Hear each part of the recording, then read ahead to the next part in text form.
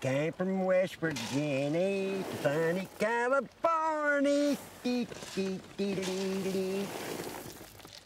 Y E A S T. Well, you can work it with yeast. Sure you can. But he'll give you a headache. Uh, you'll, you'll get drunk on Saturday night at a big party.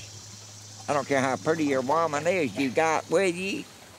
Sunday morning, you got a headache. You're rubbing your head and you ain't thinking nothing about your girlfriend. Okay. Good dry malt corn. Put it in the branch, let it swell, then let it sprout. Well, I'll take it out of there about day after tomorrow.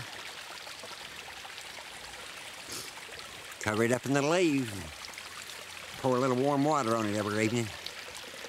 About two days, I have, have sprouts about that long.